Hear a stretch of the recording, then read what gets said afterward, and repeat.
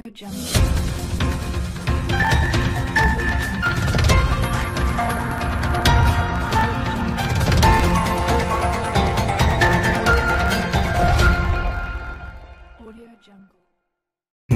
आप सबका स्वागत है। लव मैरिज के बाद एक फौजी दूसरी शादी करने जा रहा था, तभी उसकी पत्नी गेस्ट हाउस पहुँच गई।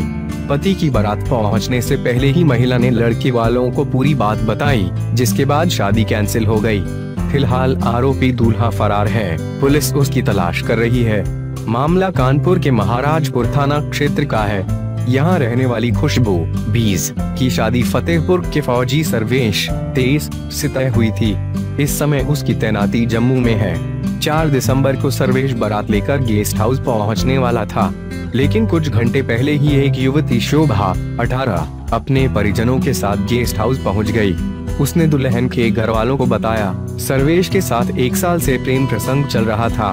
पाँच महीने पहले यानी जुलाई में हमने लव मैरिज की।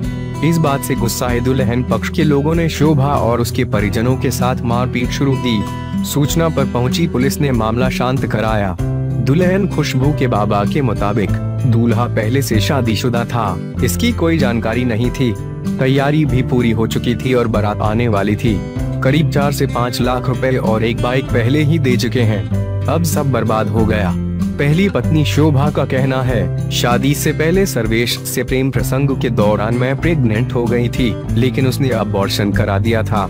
तीन महीने पहले मुझसे बोलकर गया था कि जम्मू में तैनाती हुई है, छुट्टी पर आऊँगा।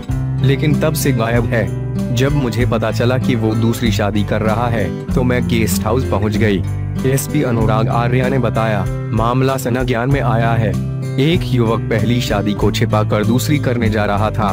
तभी उसकी पहली पत्नी पहुँच गई और शादी रुक गई। आरोपी ने खुद को फौजी बताया है।